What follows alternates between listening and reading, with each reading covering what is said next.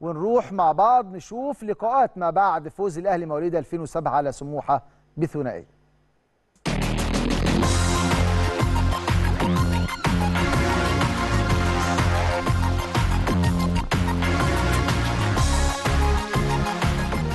هو كل سنة طبعا عشان امتحانات نظام الامتحانات بتاع ال بتاع بتاع الأولاد طبعا. فاتحاد الكورة مضطر إن هو يأجل. ومع ذلك إحنا ما إحنا كنا مستمرين في التمرين وعملنا ماتشات ودية. ما تأثرناش بشكل كبير لأن كان اللي بيجي كان بيتمرن. وكنت عامل جدول معين للأولاد التمرين سواء كان اللي بيجي الصبح أو بعد الظهر كنت ببقى موجود سواء كان في الجيم برضو فإحنا ما اتضررناش بشكل كبير إلا آه، فترة التوقف بس. كنا ال- الرسم البياني بتاع الفرقة المستوى في في التصاعدي لكن لكن طبعا أول ماتش بعد بعد توقف حوالي شهر أنا بقول الحمد لله رب العالمين. الأداء أنا أنا أنا مبسوط من الأداء. مفيش مشكلة بالنسبة للأداء هو الأداء بتاع الفرقة بتاعتنا. بس إهدار الفرص هو اللي ضايقني شوية. طبعا الحمد لله بنحمد ربنا الأول على المكسب.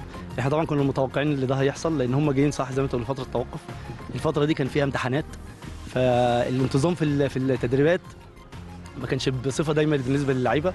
اللي كان عنده امتحان طبعا كانش بيقدر يجي. طبعا في ناس محافظات فعقبال لما بيجي من يخلص امتحان في ناس ما كانتش بتلحق.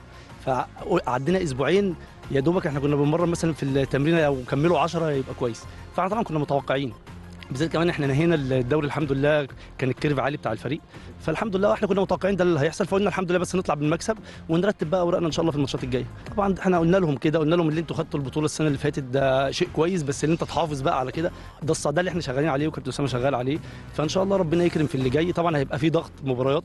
إحنا هنلعب اثنين خميس اثنين خميس فطبعا هيبقى فيها ضغط.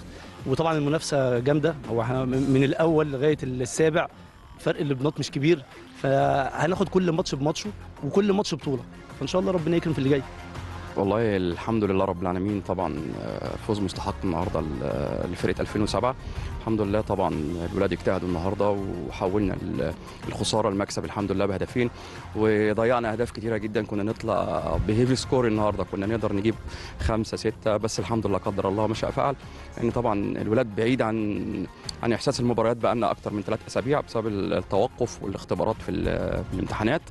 بس نقدر نقول إن الحمد لله ثلاثة بونت مهمين جدا في مشوار الدوري والحمد لله عديناها الحمد لله.